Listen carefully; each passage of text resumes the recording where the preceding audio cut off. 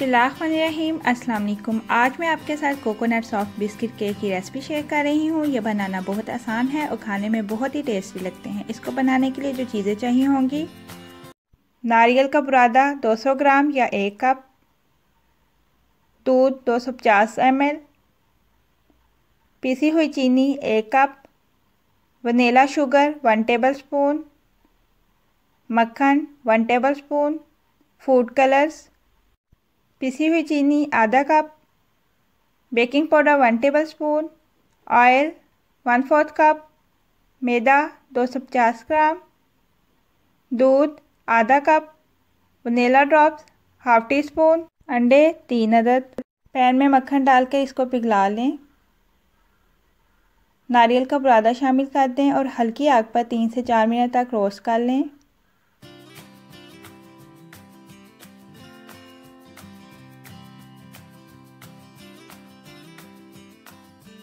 दूध शामिल कर दें और अच्छे से मिक्स करें और तीन से चार मिनट तक पका लें।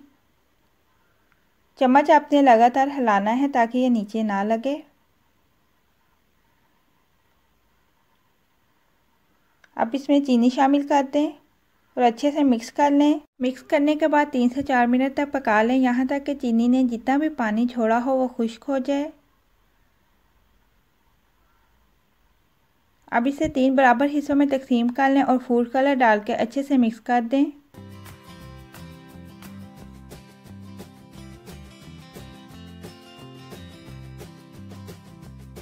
एक बाउल में तीनों अंडे तोड़ लें और इसे अच्छे से बीट कर लें। यहाँ तक कि ये साइज़ में डबल हो जाए।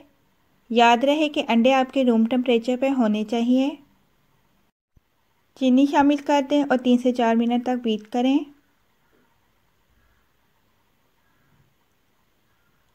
ऑयल डाल के तीन से चार मिनट तक बीट करें। मैदा और बेकिंग पाउडर छान के शामिल करें और अच्छे से फोल्ड कर लें। वनीला ड्रॉप्स और दूध शामिल करके अच्छे से मिक्स कर लें। अब इस मिक्सचर को तीन बराबर हिस्सों में तकसीम कर लें, जो कोकोनट आपने कलरफुल तैयार किया था, उसमें बराबर क्वांटिटी में डाल दें और अच्छे से मिक्स कर लें।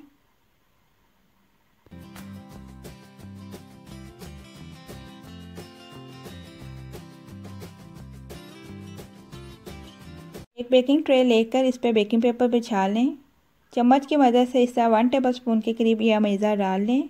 अवन को 180 डिग्री पर रखकर पहले से 15 मिनट के लिए प्री हीट ज़रूर करें। अब इन कोकोनट केक्स को बेक करने के लिए 160 डिग्री पर ओवन को रखने के बाद 15 से 20 मिनट के लिए बेक कर लें। यहाँ तक कि इस पर एक प्यारा सा कलर आ जाए। बेक करने के बाद इसे रूम टेम्परेचर पर ठंडा होने के लिए रख दें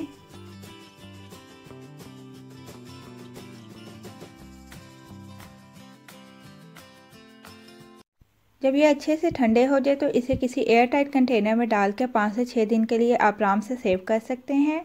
इतनी क्वांटिटी में तकरीबन 55 टू 60 केक्स आराम से तैयार हो जाएँगे। आप इसे एज ए गिफ्ट भी दे सकते हैं। ये खाने में बहुत ही टेस्टी और मज़ेदार लगते हैं।